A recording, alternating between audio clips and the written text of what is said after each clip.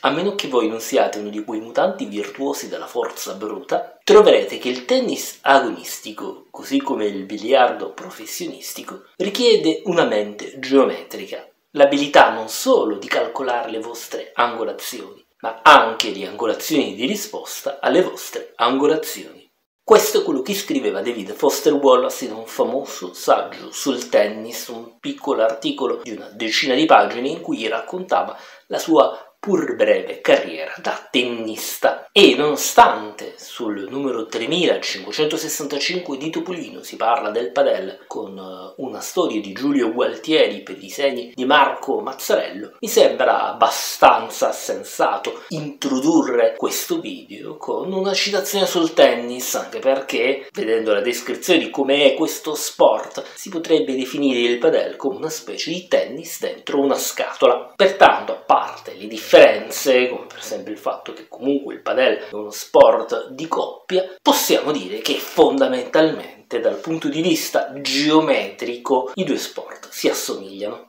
E in particolare dal punto di vista della scienza, la disciplina che meglio descrive ciò che succede nel tennis e quindi anche nel padel, anzi a maggior ragione nel padel, è la geometria e in particolare la fisica dei rimbalzi, volendo scendere nella geometria applicata. Infatti, supponendo di avere un rimbalzo perfettamente elastico della pallina sulle superfici, allora possiamo effettivamente dire che l'angolo con cui la pallina colpisce il terreno è uguale all'angolo con cui la pallina viene poi rimandata verso l'avversario. Le principali difficoltà possono essere quando viene colpita la pallina con la racchetta, anche in quel caso vale sempre la stessa idea geometrica della riflessione lungo la superficie della racchetta. Dietro tutto ciò ci sta ovviamente la trigonometria intesa come la branca della matematica interessata allo studio degli angoli. Ovviamente quando si parla di trigonometria siamo spesso portati a pensare alle cosiddette funzioni trigonometriche, cioè seno,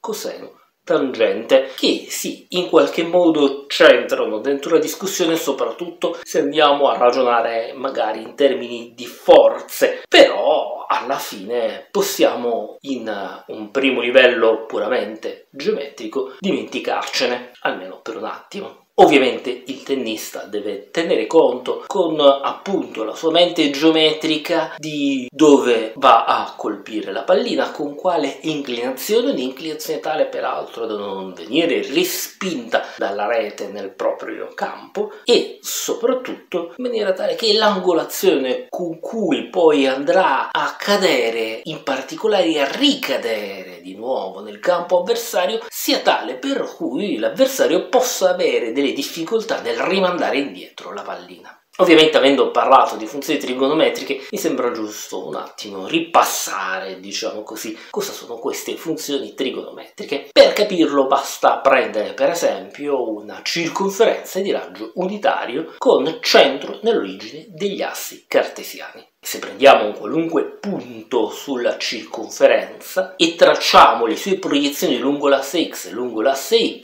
la proiezione lungo l'asse x è definita come il coseno, mentre la proiezione lungo l'asse y è definita come il seno. Quindi quando per esempio siamo nel punto 1, 0, allora possiamo dire che il coseno di quell'angolo, che l'angolo 0 vale 1, mentre il seno vale 0 e viceversa, il punto 0, 1, cioè 90 gradi, avrà come coseno 0 e come seno 1. Allo stesso modo, la tangente, che è definita come il rapporto tra il seno e il coseno, sarà legata in qualche modo all'inclinazione della retta tangente nel punto in cui andiamo a identificare, diciamo così, l'angolo corrispondente. Quindi più o meno dal punto di vista geometrico abbiamo un'idea abbastanza semplice di seno e coseno. Questa descrizione ci permette anche di capire come seno e coseno siano due funzioni il cui valore varia man mano che ci spostiamo tra i due estremi della circonferenza, quindi man mano che ruotiamo intorno all'origine degli assi. E in particolare le due funzioni variano tra i due estremi di meno 1 e più 1 Detto ciò, sperando che questo breve video sia stato interessante, non mi resta che innanzitutto ricordare che questo video è anche dedicato al grandissimo David Foster Wallace, scrittore che non si è solo interessato di romanzi ma anche di matematica e ovviamente mi raccomando iscrivetevi al canale e attivate la campanella per ricevere le notifiche su tutti i nuovi video caricati. Salve a tutti!